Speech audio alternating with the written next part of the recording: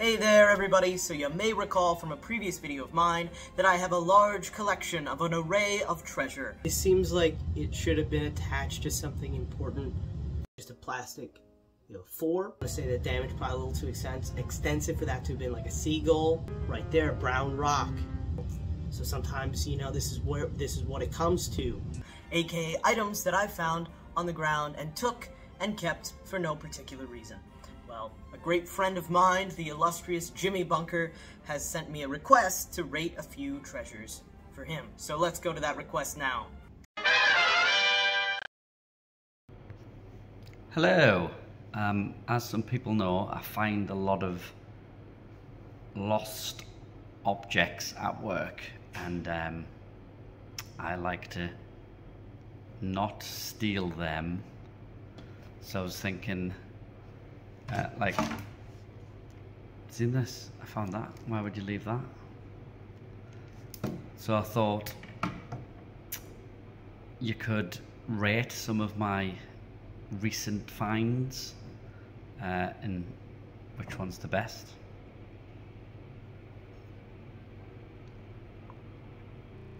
All right, so let's get through these treasures, Jimmy. Um, I'm glad you called on my expertise because um, nobody knows how to um, assign numbers to garbage like me.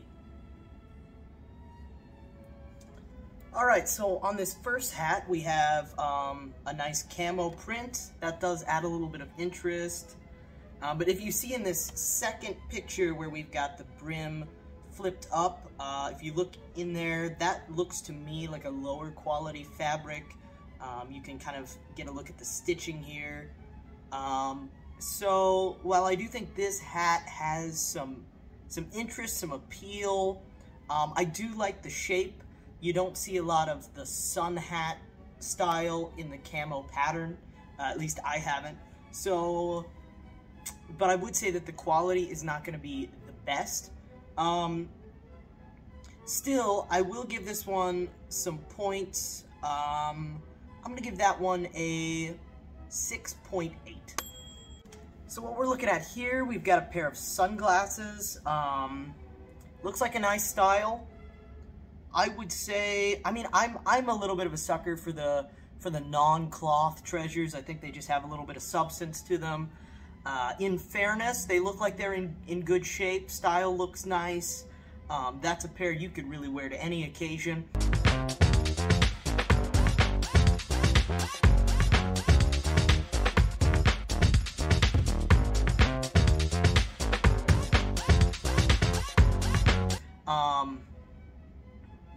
I will say they're not super, super rare or interesting to me, but it is fairly rare or interesting to find a pair of sunglasses in really good shape somewhere.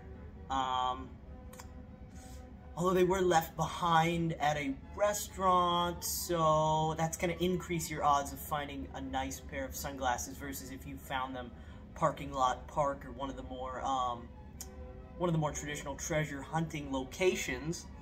So that will deduct a few points. Um, I'm gonna give these a a 6.5. So what we have here looks like a ball cap. Um, based on the photo, I, I can't tell super well. I think that's a plain black ball cap. Um, again, looks like it's in pretty good shape, which is nice. Um, but I would say that a plain black ball cap is one of the least interesting hats that you can find as far as a wearable treasure. I mean, it, again, it's in good shape. Um, but I'm just not feeling it on the black ball cap. Um, I, I would say that that is, I give it a 4.3. I'll give it a 4.34. Um, now, a scarf is a little bit exciting to see. I feel like scarves are maybe a little less common than hats. I mean, I do see only one scarf submitted for review here. Um, it's striped, that's nice. It's not just a plain color. Um, now, I can't tell very well from this kind of partial photograph what kind of shape it's in. Um, it doesn't look overly stained. I don't see a huge amount of wear and tear to the scarf. Um, Yeah, and, and it, it almost looks like, and just from this photograph, it almost looks like the stripes maybe don't cover the entirety of the scarf. You can see there's a large portion on the bottom section of the scarf there that is just black, and um, that could tell me there's maybe some differentiation on the spacing of the stripes, uh, which is going to give it a little more interest as well. Um, the color is not super interesting, but a scarf is, is a good find. Um, I'm going to give that one another, um, I'm going to give that a 7.5. Now this is exciting, um, because what we have here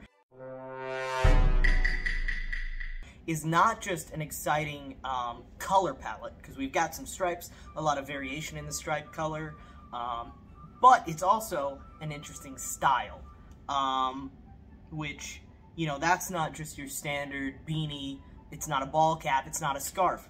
That definitely pumps it up. So, and it looks like it's in good shape too. Man, that's that's a really good one. Um, that's something I would definitely be excited to find. I'm gonna give that. Um, I'll be honest, this one's pretty high. I'm, I'm gonna give it an 8.67. Here we've got another another knit hat. Um, you know, just a it's a beanie. It's it looks to be plain black. Um, based on the photo, I do see a slight darker portion could be a button, but I'm, I'm going to assume that's just a shadow. Um, I could be wrong, but again, it's, it's kind of in the territory of the black ball cap. It's not a very interesting style, and it is pretty plain. Um, it looks like it's, it's in good shape. Looks like it's got a good fit. Um, but I would say that the black beanie is going to be right around the black ball cap as far as um, as far as value. Um, and I'm gonna go with with a, but I I'm gonna go with a with a 4.3 on this. Um, I think that's gonna be fair for just the the plain black beanie, even if it is in pretty good shape. See this this intrigues me. We've got the paper, the Prince Philip mask, right? Um, it's somewhat oversized. It's uh, it's a good treasure because it raises questions. Uh, what was someone using it for? Why? That's that's a good question for this one. Um, so it is paper. Um, it makes it, or, or, you know, it's probably a thicker, it looks glossy. That's going to be a little bit of a thicker paper. It's not just printer paper. That's nice, but, you know, it isn't uh, a more substantial treasure or a substantial find, um, but it does have the hallmark of a good treasure as I said. So this one is going to be pretty far up there. It is going to lose a couple of points for the material, um, but I would still give this a solid 7.65, maybe even a 7.653. Um, and we can we can hash that out later, maybe on some official paperwork. Um, but no, that's a that's a solid find. Um, yeah, I like that one.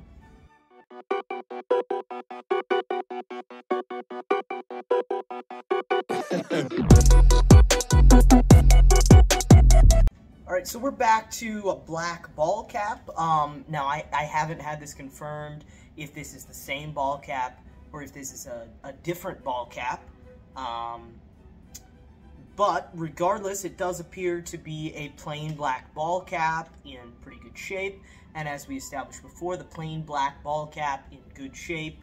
Um, and of course, this would be barring a physical inspection to make sure there were no flaws or um, anything of that nature. We could get uh, any labels inside of it, any dates, something like that. Um, any personalization that was done to the hat would need to be assessed in person. That would be true of just about any of these treasures. But barring any of that, the plain black ball cap is typically going to run you like that first one, that 4.34. So I'm going to go with that on this hat. Um, much like the first one, unless they're the same hat. And then, of course, they have the same rating, which they would even if they were different. So this is the last treasure that was submitted to me. This is a uh, another knit beanie hat. It's uh, striped though. Uh, that stitch work or the uh, the weave of that, I don't know. I don't I don't knit. I don't crochet. The the stitch, the knit, whatever you want to call it, looks uh, like a larger stitch. It doesn't look tight, or uh, how do you want to say it? it? It's not as small and tight of a weave as something I would consider to maybe be the standard commercially available hat. So it's possible that this is a, um, a handmade hat, which would increase the value. Um, regardless, it is um, it's a nice pattern. It's it's two colors. Um, I like this one quite a bit. Um, it is still just a beanie style of hat, which, you know, isn't the most interesting hat style in the world, so it will lose a few points there. But I would give this one a, uh, I'd give it a 6.8, bordering on maybe even a 6.9. Um, I, I'm going to lean 6.9 on this one, guys. That's a nice hat. So, Jimmy, based on my official rating system, the top treasure that you've submitted to me is going to be that striped, what, you, what would you call it, balaclava? Is that it? I don't know. That one. That's going to be your winner. Um, followed closely behind by that Prince Philip mask. Um, those are some pretty choice treasures there. Um, so yeah, keep on, keep on hunting those treasures, Jimmy. Keep on acquiring those treasures. There's a whole world outside of hats that nobody is watching. Hope everybody had fun today. I know that I did, uh, even though, of course, this was very serious and official business. Still managed to have quite a bit of fun doing it. You know, do what you do what you love, and you'll never work a day in your life, as they say. Um, but I will have some updates coming shortly about my own treasure collection. Um, I got a few new pieces I'll be showing off soon. Um, other stuff will happen, I'm sure. Hope you guys have all had a great day. Hope you're having a good week, a good month, a good year, whatever. Um, I'll see you guys in the next one, next video, of course. Um, have a good one. So, uh, yeah. hey, Jimmy! Do you know Ray? Oh, the Bunker King. The Bunker King. Yes, yes. What's that thing about him? He's really, Uh, he's really cool. he's really cool, isn't he? He's really cool. The coolest guy. He's so cool. King of the bunkers. King of king of the bunkers. Bunker King. The Bunker King. How much are we getting paid for that? Well, I mean, we need someone to fund Yeah. Leviathan, right? Right. So uh, yeah, Yeah, yeah, really cool. Right, he's just, I really mean, cool. He's just a cool guy. just a cool guy. Just the Bunker King. Uh,